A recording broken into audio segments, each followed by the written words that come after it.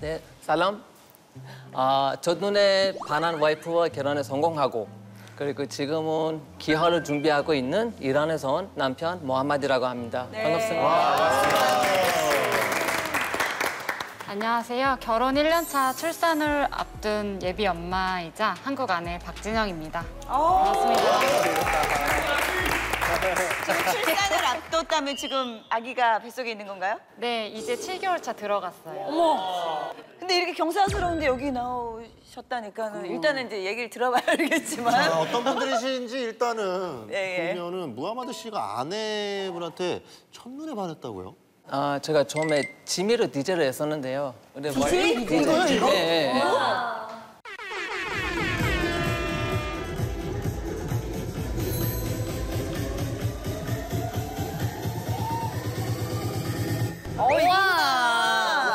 그때 놀러 왔었어요. 제가 DJ 하는데 잠깐 이제 우연히 만나게 되고 이제 그때 한눈에 반해서 연락처를 물어봤어요. 지금의 남편이 그때 막 디제잉 하는 모습이 굉장히 멋있었나 봐요.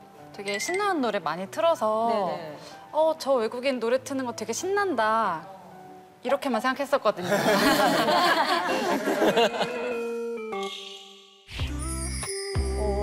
어울린다, 잘 어울린다.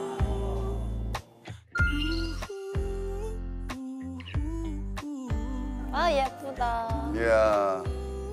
아니 뭐 듣자 하니까 이 남편을 뭐 최수종이다 네네. 이렇게 부른다고 하던데요.